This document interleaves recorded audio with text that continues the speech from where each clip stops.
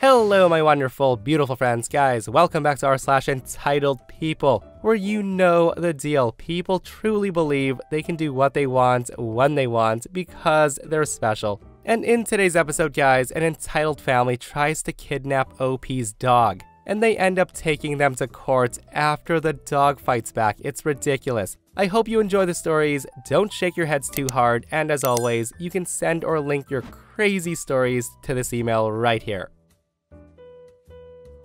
Alright, so my husband and I have been married for three years, together for six. He's 43 and I'm 31. Now obviously, there's an age gap between my husband and I, which has never been an issue for us. My mother-in-law Karen, however, has always greatly disapproved and she likes to talk to me like I'm a rebellious teenager, instead of her son's life partner. So a big issue for her is the fact that she doesn't see me as a responsible adult because I have tattoos. I love all my tattoos. They're all well done and a huge part of my identity. I can't imagine myself without them, and my husband loves how they look on me. My mother-in-law has made a few comments while we were dating, but my husband told her privately to drop it. So with that said, here's the story. Three years ago, my husband and I hosted our families for my birthday dinner. It was our first big get together after getting married, and everyone was nice enough to bring me a gift. I was going to open them after everyone left, but mother in law hands me an envelope right at the dinner table and insisted I open her gift immediately. Inside was a card and a gift certificate to a local tattoo removal business for $500. At this, I was confused and I asked her what this was for. She said that since I'm now a married woman and planning to have kids, that I would need to get rid of all my tattoos. Hearing her say that, both my husband and I were kind of taken aback and stunned. I half-heartedly thanked her and the party continued. Later on, my husband called her and told her off. He insisted she take it back and get her money back and she absolutely refused, and insisted that I would want it someday. Three years later, her $500 is still sitting in my kitchen junk drawer, and I've added three more tattoos to the collection. And mother-in-law must be so happy, guys, that instead of using her gift certificates, OP decided to get three more tattoos. And honestly, if I were in OP's shoes, I would definitely keep that voucher on my fridge, where mother-in-law can look at it every single time she comes over, just so she can see that the 500 bucks she spent to try to insult OP was a waste of money. So here's a fun one. Years ago, I would often babysit my neighbor's 10-year-old daughter. He was a divorced father, with the kind of ex that would send spreadsheets of child-rearing expenses calculated to the penny and weekly invoices, complete with terms and penalties of her own choosing for late payments. He paid big child supports and generally paid her invoices on time because she would always threaten to cut off access to kiddo if he didn't. So his ex, the snake, and I had basic text messaging contact. She and I had some previous drama because a sudden weather change necessitated a jacket for Kiddo. While under my care, we popped into the nearest discount store and I let her pick a jacket. The kiddo loved it, but her mother threw a giant fit at me because it wasn't a brand name jacket. I blew it off, and the neighbor and I laughed about it when he reimbursed me. She then gave me the silent treatment. So time moved forward, and the father always reimbursed kiddo's expenses and encouraged fun and healthy activities. One day, he called me and apologized that he was getting held up at work, and kiddo had an orthodontist appointment.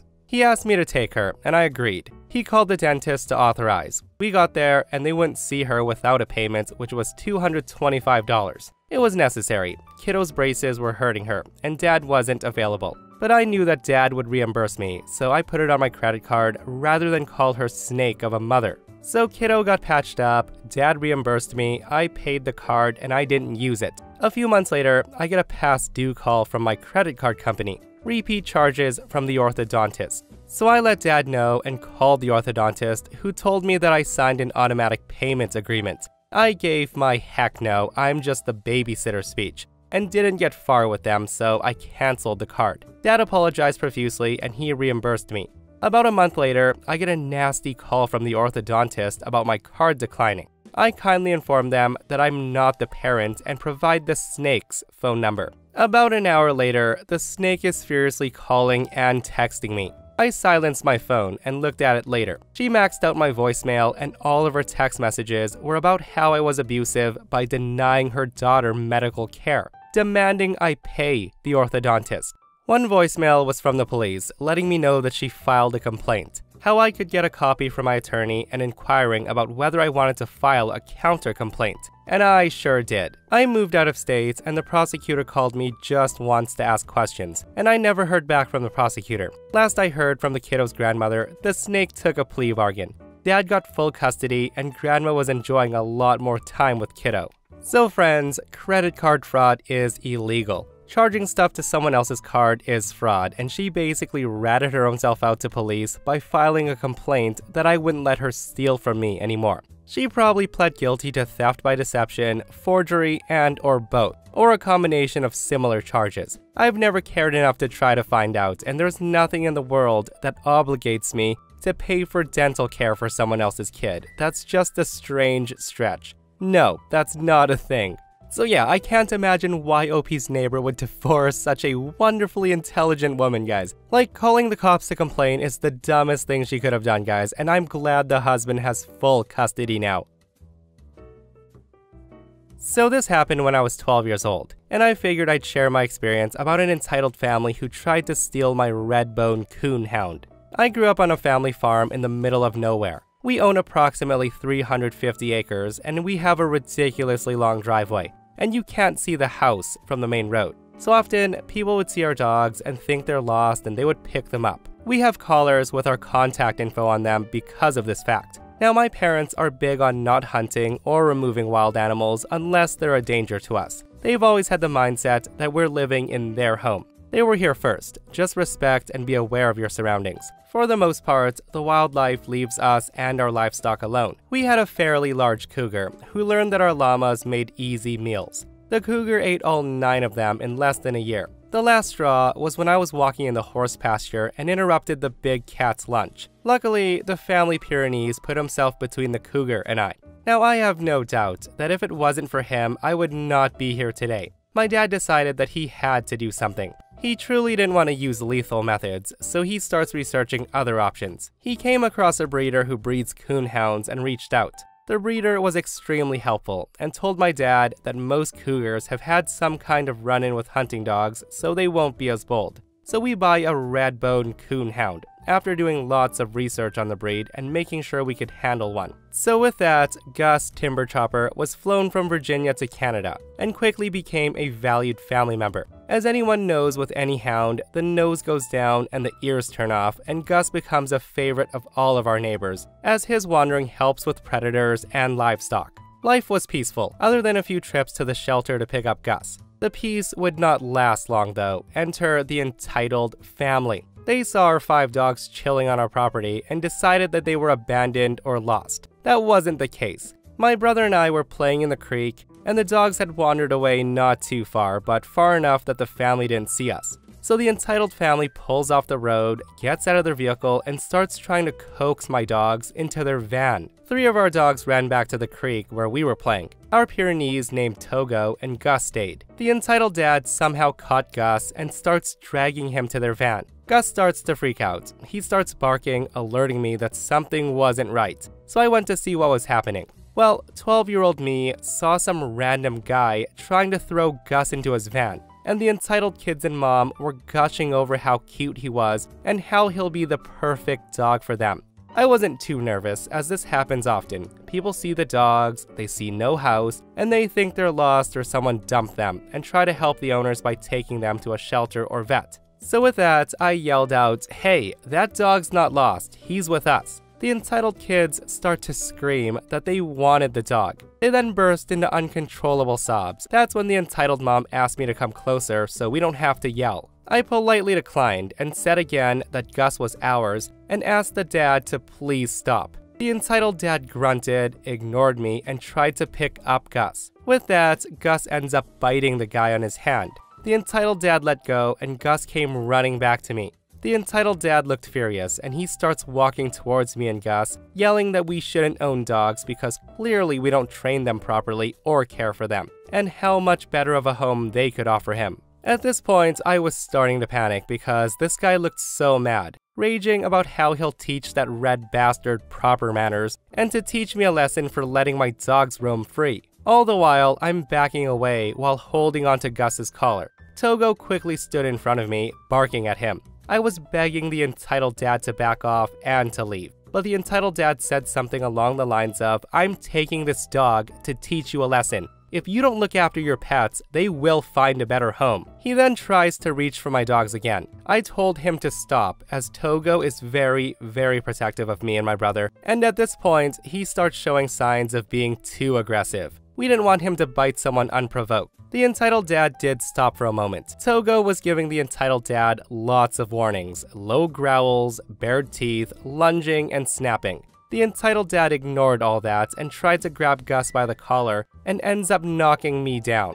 And at that, Togo latches onto the entitled dad's arm and starts to shake his head and yanking the guy off his feet. That's when one of the other dogs who belonged to my uncle came after and starts grabbing the entitled dad by his pant leg. My brother also joined because he heard me scream. I got him to take Gus and told him to run home and get dad. Togo wasn't listening at this point when I tried to get him to let go. The entitled kids and the mom tried to get out to help. Thankfully, they listened when I screamed stop. The entitled dad was yelling to call the dog off and how he would see to it that all of our dogs would be put down and that we would never be allowed to own another dog again. At this point, I was scared, angry, and overwhelmed. I start to cry. I thought that Togo would be put down for sure, and that if the entitled dad took us to court, he'd somehow get Gus. My dad comes racing down the driveway, ready for war. The entitled family starts saying how Togo attacked them unprovoked, and that I misunderstood what they were doing.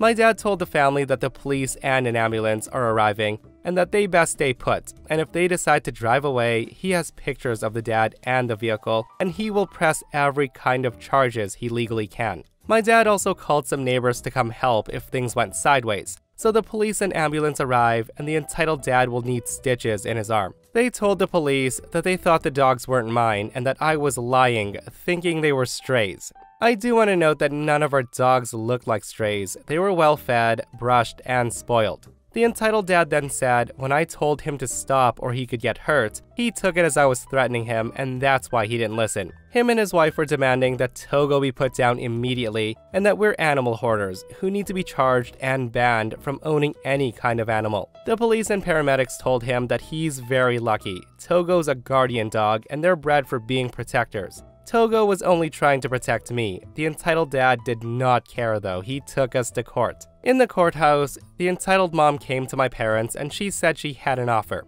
If they accepted, they would drop the lawsuit. They wanted us to give them Gus. Dad told her to pound sand in less than polite speech. So in the end, thanks to the game cameras that Dad had in various places, we had footage. The judge was less than amused, as the entitled family made it sound like I told my dog to attack them when they just wanted to play with the dog. The judge also pointed out that a 12 year old girl versus a 40 something grown man was not a fair fight, and that my dogs just evened the odds. We did have to isolate Togo and made sure our dogs had microchips and their tattoos were legible. Dad also decided that he'd fence off places so the dogs can't wander. I do wonder sometimes about that entitled family. And I have a question I'd love to ask. After all the expenses, wouldn't it have been cheaper to just buy or adopt a dog rather than steal one? For sure it would be, guys, but you know entitled people, they don't think before acting. And I agree with the cop guys, the dad is so lucky he only got stitches because he ignored those warning barks that Togo was giving off, and he ended up finding out the hard way. As for Togo, the Great Pyrenees guard dog that did his job of protecting his family,